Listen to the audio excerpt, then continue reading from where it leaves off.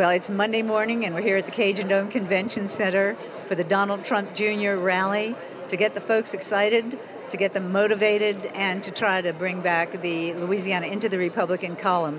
As you can see, it's a pretty much standing room only crowd. All the dignitaries from across the state are here. Everyone's very excited about this event.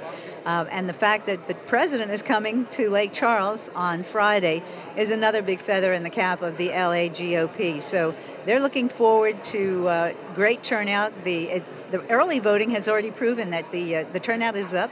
Lafayette Parish is up over 2015, well up. The state is up tremendously over 2015, and Republican over Democrat is up as well. So they're looking for a really good turnout and a win for the LA GOP and for the Republican Party and for the state of Louisiana.